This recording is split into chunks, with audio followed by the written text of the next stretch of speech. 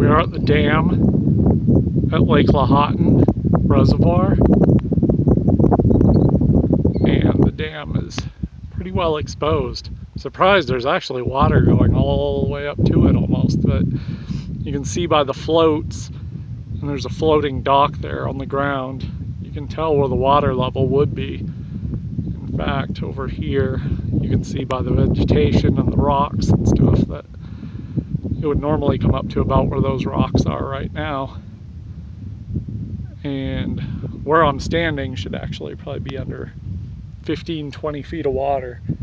And then the actual water is probably another 20, 25 feet below me. So yeah, the lake's way low.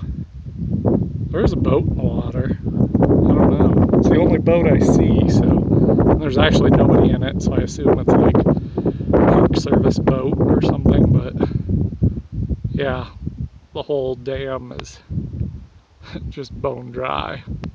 Interesting. Might try walking out on it, see if I can do that. It'd be pretty cool. It's probably gated off though, but be neat. At least walk across it or drive across it. But so there's this little channel here.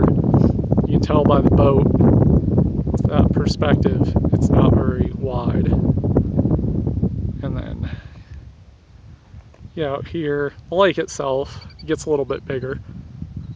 I can't imagine what Lahontan looks like when it's full. I've never been out here. This is my first time, so, but considering it's only at 2% capacity, I can only imagine what this reservoir would look like normally.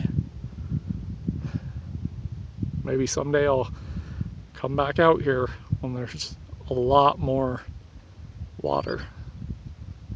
We'll see.